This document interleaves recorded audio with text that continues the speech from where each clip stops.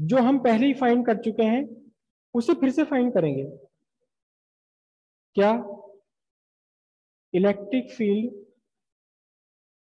due to a point charge electric field due to a point charge point charge का electric field हम find करेंगे Gauss theorem से। इससे पहले भी हम फाइंड कर चुके हैं, लेकिन गॉस थ्योरम से देखिए कितना आसान हो जाता है। और ये पहली डेरिवेशन ही बेसिक डेरिवेशन है। बाकी सब आप आराम के साथ कर सकते हो। कैसे करना देखिए। एक चार्ज आपको गिवन है। पॉइंट ओ पर आपको एक चार्ज गिवन है। क्यू ठीक है। इस पॉइंट चार्ज से आर डिस्टेंस पर आर डिस्टेंस पर एक पॉइंट है पॉइंट पी पॉइंट पी। और हमारा उद्देश्य क्या है? पॉइंट पी पर इलेक्ट्रिक फ़ील्ड इंटेंसिटी फाइंड करना, गॉस थ्योरम से। इसके लिए देखिए, बेसिक स्टेप कर लीजिए, आगे की सात आठ डेरिवेशन आपको अपने आप हो जाएँगी। जिस पॉइंट पर आपको इलेक्ट्रिक फ़ील्ड फाइंड करना है, इस पॉइंट से होते हुए, इस पॉइंट से पास होते हुए एक गौशियन सरफेस आपको बनानी है। लेकिन ये गौशियन सरफेस होनी चाहिए सिमेट्रिकल कोशिश करें कि सिमेट्रिकल हो। नॉन सिमेट्रिकल से भी हो जाता है, लेकिन फ़िलहाल वो आपके स्कोप के बाहर है। तो हमने, एक गॉस सरफेस बनानी है क्लोज गॉशियन सरफेस बनानी है, इस पॉइंट पी से पास होते हुए, उस पॉइंट से पास होते हुए, जिस पॉइंट पर आपको इलेक्ट्रिक फ़ील्ड फाइंड करना है।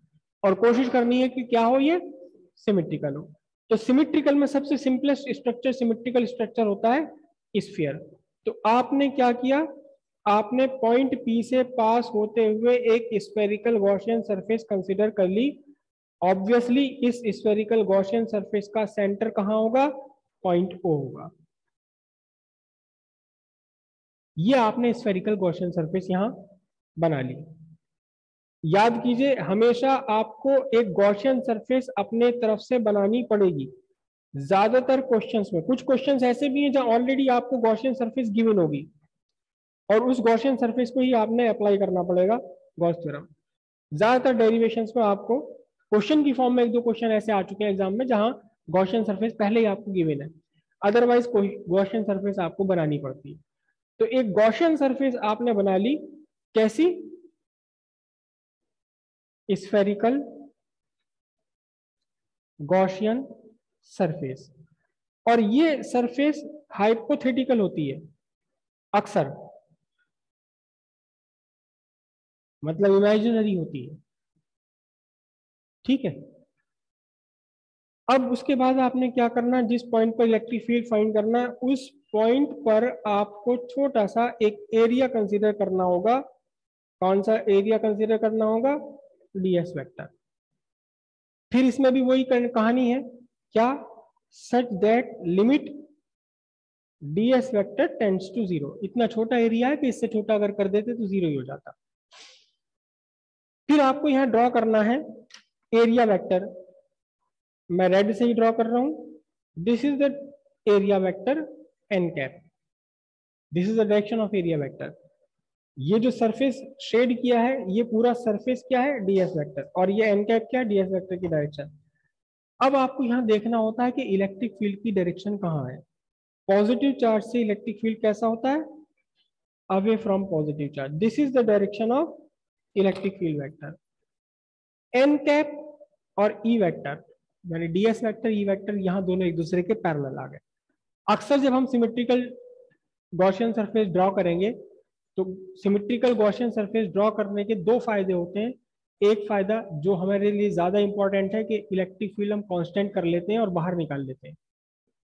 दूसरा फ़ायदा ये होता है कि इलेक्ट्रिक फ़ील्ड वेक्टर और एरिया वेक्टर के बीच में या तो आ जाता राइट एंगल या आ जाता है ज़ीरो तो वहाँ हमें फिर कॉस थीटा सब्सटीट्यूट करना आसान पड़ जाता है।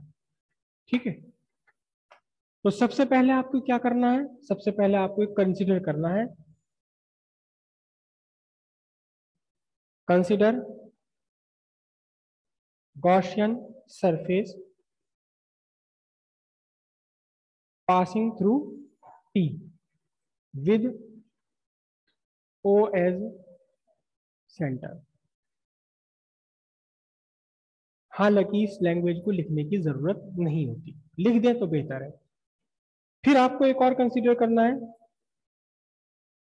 कंसीडर डीएस वेक्टर बल्कि हम लिखते हैं इसे small area element small area element कौन सा element dS vector around T T के अराउंड ही करना है, जिस पॉइंट पर आपको फाइंड करना है इलेक्ट्रिक फ़ील्ड ठीक है? अब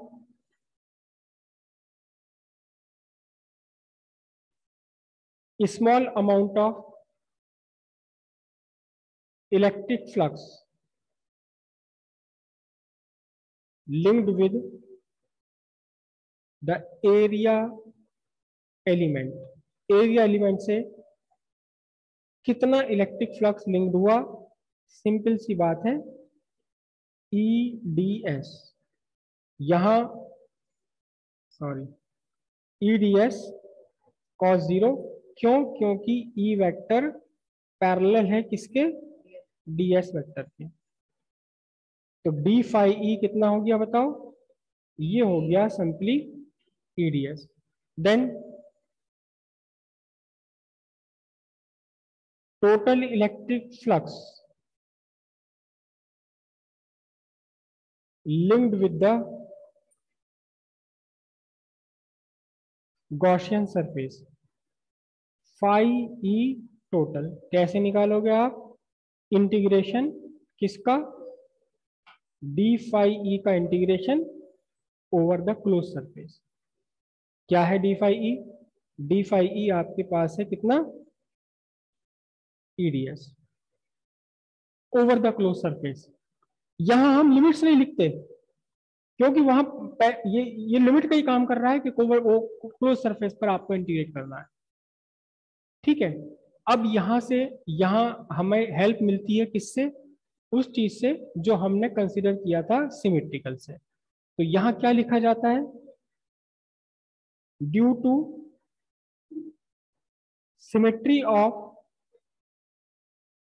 Gaussian surface E is constant all over it हर जगह ई e कांस्टेंट है। तो फिर क्या हुआ? Total electric flux, electric field को निकाल लिया बाहर, और क्या रह गया इंटीग्रेशन क्लोज इंटीग्रेशन डीएस अब इस close integration of area element का क्या मतलब हुआ? ये छोटा सा डीएस एलिमेंट है। एक छोटा सा एलिमेंट यहाँ पर बना फिर और बनाया, फिर छोटा छोटा छोटा छोटा छोटा छोटा एलिमेंट बना देगा बना देगा बना देगा कब तक? जब तक ये पूरी सरफेस बन गई। और उन सबको आपने जोड़ लिया आपस में। तो ये क्या बन जाएगा बताओ? जब हमारी गौशन सरफेस है, कैसी है गौशन सरफेस स्फेरिकल है। तो सारे छोटे छोटे छोटे छोटे ये dS dS dS dS add करते करते क्या बन जाएगा? Surface area of sphere surface area of sphere कितना है? फोर पाई आर स्क्वायर तो यहाँ से बात निकल कर आई क्या? कि total flux linked with the Gaussian surface is E four pi R square E is the strength of electric field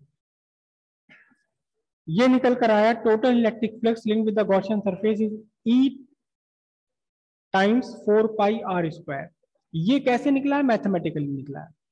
surface integral से निकला है। ठीक है? अब लगाएँगे हम गॉस थ्योरम अब तक गॉस थ्योरम का कोई रोल नहीं था। ठीक है? By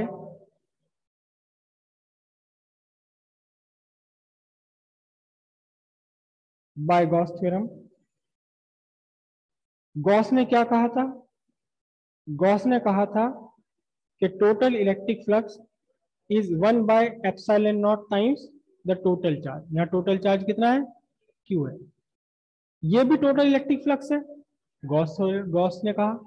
और जो अभी हमने फाइंड किया था, वो भी टोटल इलेक्ट्रिक फ्लक्स है। तो दोनों ही इलेक्ट्रिक फ्लक्स सेम हो गए ना? तो अब यहाँ से क्या बचा?